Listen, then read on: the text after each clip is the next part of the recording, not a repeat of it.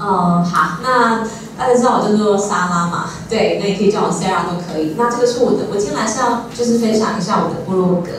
那因为我觉得我的部落格，嗯，是有一点点小小的故事，我觉得还蛮，我自己觉得很特别，因为它有一些我的心理路程，是我想跟大家分享。那我的部落格就是我的名字，叫莎拉好生活。那很简单，就是网址就是 sarahbeautifulline.com 这样子。好，OK，好。那我开始之前，我想先请问一下大家，嗯，有自己的部落格的举手？是吗？对，很好，很好，谢谢，谢谢。对，所以我觉得部落格是，嗯，它是一种抒发的平台，那它可以分享各种不同的 data。对，那我觉得每一个人用部落格的目的都是不一样的。好，那呃，继续往下。好，那这是大概是长这个样子哈。接下来是我的网页，然后这个是我的 Facebook 这样子。OK，好，那今天呢，我要来在讨论这部落格的时候，我想要分享一下啊，为什么啊，为什么会有这个部落格，然后还有我是谁，然后最后我从这个部落格，我到目前为止写了快一年了，那我得到了什么？那还有我中间的心理路程是什么？那最后我可以给别人什么？这样子哈。那一开始我先讲哇，我会有这个部落格，是因为我把我的工，因为我工作工作了蛮久，那我就觉得不是很开心，那我决定把我的工作辞掉，那我跑去学内衣，制作内衣这样子。那我学完之后，其实我想要有自己的品牌，但是因为资金就是有点不足，这样，所以我觉得那我就先写好了，因为我小时候很爱写字。那我写的过程当中，哦，这是 blog 开始的原因啦，对。那我再进一步讨论到，那为什么我要把我的工作辞掉呢？因为其实我小时候呢，这是一个很长的故事。我小时候跟那个刚刚那个甜心一样，其实也跟各位一样，我们每个人都是梦想家。我小时候做很多事情，我天不怕地什么都不怕这样子。可是我不知道为什么，我出了社会之后，我就是要背负很多就是期待啦。那还有就是我们好像就是有一条康庄大道，好像就是社会觉得应该是这样子走的。那我不可免俗的，我也走的那条路这样子。那我们感受我父母亲给我很好的教育。对，可是我觉得这个过程当中，我一直觉得很，就是有一些东西不见了。我觉得其实我很想要解脱，而不是不是那个解脱，我也想要，我很想要有自己的路。因为我小时候很喜欢画画这样子。那呢，因为我的父母就是我的天，因为我是他们，我很爱他们。可是他们对我的期待就是一定要有一个方向这样子。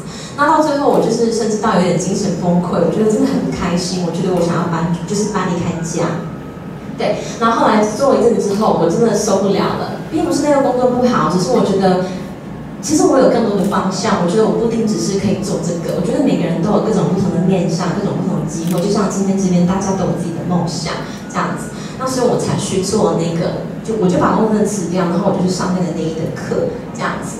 好，那接下来我接接下来会有讲到说，哎，我这个经营 blog 到目前为止有三个阶段。好，那第一个阶段就是。物质这样子，那一开始，因为我一开始，因为我有这个技术，我真的会车，我也会做这样子，所以说就是啊，我一开始我讲，那我当然我也不知道我要写什么嘛，那我可能就先写一些技术上的事情，比如说这个要怎么车，然后我的布要怎么剪，然后做出来是怎么样这样子，对，然后可是因为我是很想要很好把把它经营，因为我觉得这是一个不是很多人都知道的东西，因为它是一个很特殊的东西，所以我其实有去上一些就是网络形象的课程。那我记得那时候我去上一个大师，就是一个就是老师的课，然后他就跟我说，我跟他说老师，我很想要写内衣这样子，然后老师跟我说，你可以做这一件事情。对，老师跟我说你就这样就好，就把衣服脱掉，这样这样会就会有人来看了。对，然后那他的意思，他他不是这样子说啦，但是他的意思是这个样，因为其实这个很容易有眼球嘛，对不对？就是我曝光率会很高这样子。但是那时候，因为其实我我在学内衣的过程当中，因为其实放弃我的工作去学内衣是一个，因为它不是我本行的东西，我需要花费很多的金钱，还有就是精神，还有时间，所以那是我人生第一次为我自己活，这样。所以我觉得从那件事情开始之后，我觉得我，因为其实我也没有他大，说实话。对。然后我觉得，因为我学到是一个特殊的技术，所以我觉得虽然说可能一开始没有办法赢得大家的青睐。但是我想做的事情其实是告诉女孩子怎么样穿一些适合自己的东西。那我想介绍一些品牌是目前市场上没有的，因为我觉得其实这个市场可以更多元。这样，我觉得我想要提供的是一个比较不敢说教育，我想要分享一些资讯，是可能我自己很有兴趣，可是别的女生是真的不知道的这样子。那这个是我介绍的品牌，然后我有去访问一些就是国外的一些就是就是精品的品牌，然后我都有跟他们做一些对谈这样子。那这个是就是这个品牌目前都是台湾没有的。好，那我在这个阶段我得到了什么？就是说，如果我我知道说我我如果我一开始就做了第一张图片的动作，应该会很多。会很多人马上很爱我这样，对。可是我如果是以前的我的话，因为我现在讲的是我这个人本身的质变。如果是以前的我的话，因为我因为就像我刚刚说的，我一直都是就是背背负着一个期待要走的，所以我可能就会这样做。可是我后来告诉我自己，我都已经去学了，我不行，我一定要想好我要找的人是谁，这样子。我想要找到这适合我的，呃，就是有一种女孩子，她真的想要找一种 quality 很好的东西，她想要来看我的部落格。那接下来，那第一个阶段，其实我我的部落格曝光了一阵子之后，其实我就已经在几个专栏写我的就是我的文章了，所以大家都看得到我的的文章的那个露出。但是那时候还没有看到我的脸，对。那接下来写一段时间之后，开始就是开始没有流量进来这样子，那我就想到底是怎么回事？那因为那时候我觉得经营上已经到一个瓶颈，因为其实因为我觉得我的东西并不是那种我的东西都是比较小品类的，就是没有办法有很多人进来。那最后我想说，好吧，那我就写我自己写的东西好了。在这过程当中，我发现其实我一直在反省我自己，我这一路上为什么这么不快乐？我为什么没有办法去追求自己的梦想？这样子，所以我写了这样的东西。结果我发现，我写这样东西之后，反而很多人很喜欢这样子的东西，就是讨论你自己心理层面的东西。对，所以这个阶段，我希望是应该要对自己诚实。所以啊，如果是以前的我的话，我还是一样，我就做大家觉得很好的事情。那这个阶段，我觉得我应该要坚守我自己想要做的事情，虽然可能它有一点困难，或者是没有人会欣赏这样子。那到了第三阶段的时候，我开始走出去，从那个时候我就开始去面对人群，我去参加创业比赛，那时候就就是有跟那个英俊的那个海德有一面之缘，因为他是一位很优秀的青年，在那个台南的 Startup Weekend 这样子。那我认识了很多很多不同有梦想的人，我才发现其实我以前就是被规范，只能走一条路，这样子的路程是，就是太太遗憾了。我觉得人生是很好玩的，在那个地方有很多梦想家，每个人都在为自己的理想奋斗，这样子。所以在这个阶段，我的写作的目标就是我再次的去修正。我除了写内衣的话，我也开始讲到，其实女孩子她。嗯，就是偶尔的暴露是 OK 的，因为这样子可能会吸引到异性的的那个青睐，这样子。但是我觉得一个女性如果要美丽的话，她的身心灵都是要一起起来的。那我觉得这样的美丽才是永恒的。